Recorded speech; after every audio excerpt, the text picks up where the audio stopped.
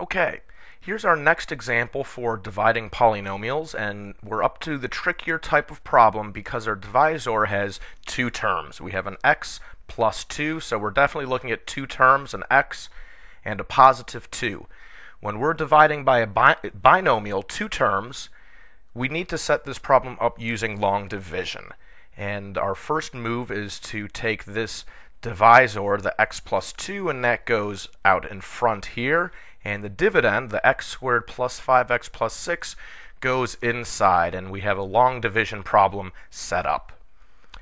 Okay, so there it is. Uh, these problems are tricky, but half of the battle is just staying organized. If we can have a good organizational system, these problems become a lot easier.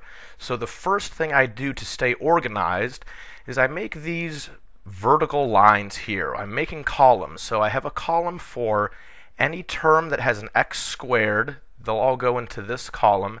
Any term that has a regular x is going to be in this middle column.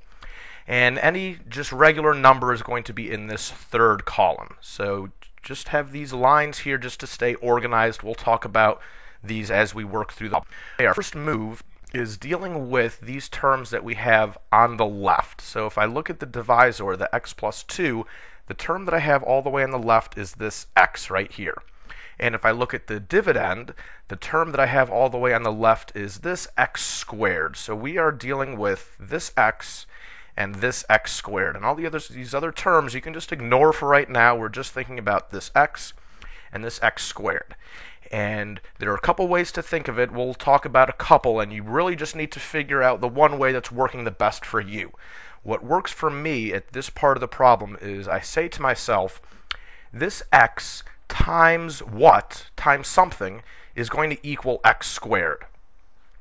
Uh, so this is sort of what I'm thinking about. x, this x times something, I don't know what it is yet, should equal x squared. A different way you could think about it is not set up with a multiplication, but with a division going in reverse. So we would say this x squared divided by x. That's just another way for us to come up with what is this that's missing. Uh, so if I was to write that out, it would look like this with a division. x squared divided by x is what? So you don't have to really think about both of these ways. One or the other is going to be good enough to figure out what goes in this little box here or what our answer would be. Either way, we're hopefully seeing that it's x. Okay, so there's the first part of our answer, and we are writing parts of our answer up here on top, and notice where the x went, because this is a term that has just a regular x, it went in this column for all other terms that have just a regular x. So we put it above the 5x. And that's just part of my way of staying organized through these problems. Okay, once we have put a, a term up in our answer, the very next move is I just cleared that work out of there. Our very next move is to multiply back down. And we definitely, when we multiply back down, we need to do it twice.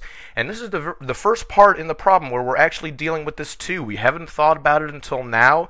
This is our first time thinking about how do we deal with this 2. And it comes into play when we do this multiply back down.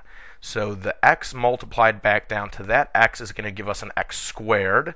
And the x times the positive 2 will give us a positive 2x. So there's the x times x is x squared, and I have it in the column for all terms that have x squares. The x times a positive 2 gives us a positive 2x, and I have that in the middle column.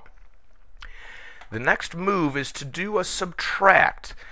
What I like to do when it comes to subtracting polynomials is I flip signs and add. And really, the reason I do that is to stay accurate. When we start having a term here and we have to subtract negatives, it's easy to go off path.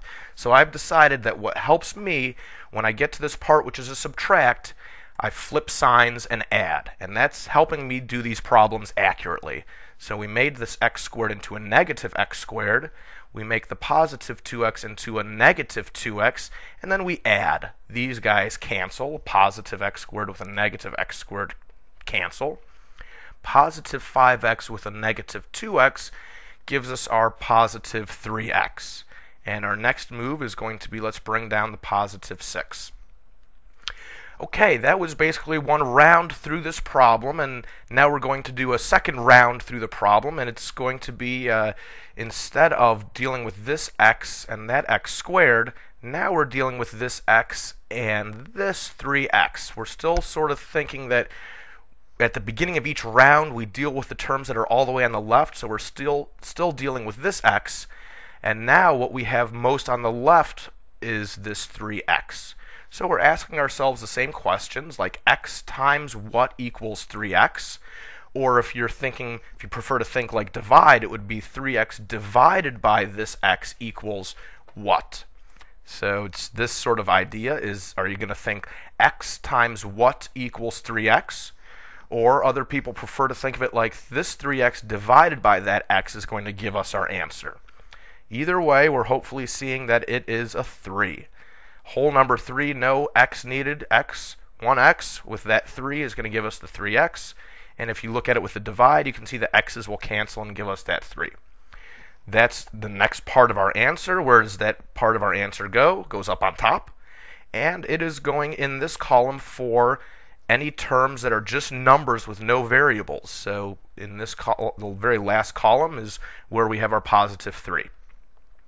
What is the very next step? As soon as we put an answer on top, multiply back down twice. So we need to take this positive 3, multiply it back down to the x, and multiply it back down to the 2.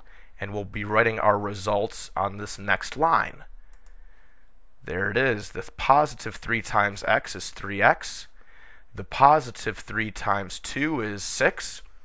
We're ready for the subtract, but we like to, when we have to subtract, like to flip the signs and add. So we made it a negative 3x with a negative 6, and when we do our add, those cancel, and those cancel. So we have a 0 left over. We don't have anything else to bring down.